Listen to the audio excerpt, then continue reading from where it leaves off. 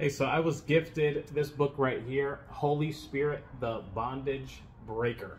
Now, this one here was written by David Diga Hernandez. And just to give you a little overview. Now, I'll go ahead and go over to the contents just to kind of break it down a little bit for you. So, you've got all together 17 chapters, okay? Just to kind of go through a little bit. Enough is enough. What is a stronghold? Right? Darkness returns, the spirit of truth, open doors, identifying strongholds, commanding the forces of darkness, strongholds, thoughts, and emotions. Help me, Holy Spirit, the stronghold of temptation, the stronghold of addiction, uh, the attack of sickness, Christians and demon possessions, the stronghold of fear and torment, the stronghold of accusation, the stronghold of depression, other strongholds, and then staying free, and then a little bit about the off, the uh, author.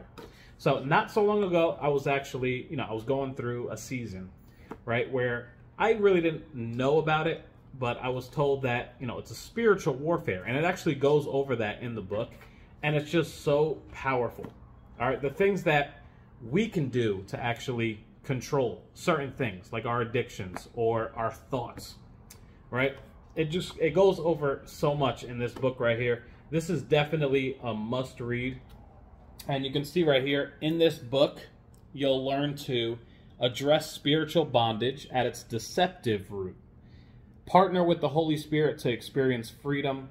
Avoid the wrong approaches that make the problem actually worse right? Sometimes we try to handle things on our own but it actually goes over things of, you know, not making it worse by trying to do what you think you should be doing.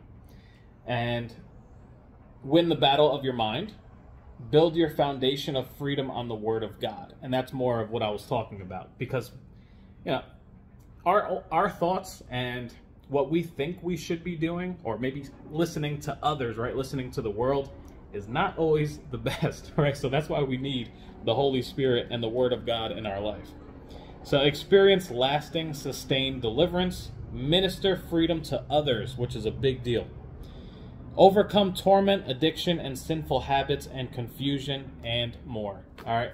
So this is definitely a must read right here. Highly recommend this book.